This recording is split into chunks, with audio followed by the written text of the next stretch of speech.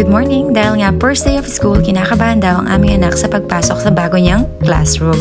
Kaya naman, sinamahan namin siya ng kanyang daddy para mabusang confidence niya sa bago niyang papasokin na eskwelahan. At nagpunta kami sa administrator dahil doon pupunta lahat ng mga transferee, i-assist sila papasok sa kanilang kanya-kanyang teachers at sa classroom nila. Sinamahan siya ng guidance counselor na si Miss Kelly. Napakabait niya at napaka-welcoming. Halos lahat ng teachers dito ang babait talaga nila. As in, sinamahan pa talaga siya papunta sa kanyang classroom. Nakaka-amaze lang talaga. Libre nga lang pala ang pag-aaral dito sa Canada up to maging 18 years old sila. Ibig sabihin, hindi sila nagbabayad ng tuition fee.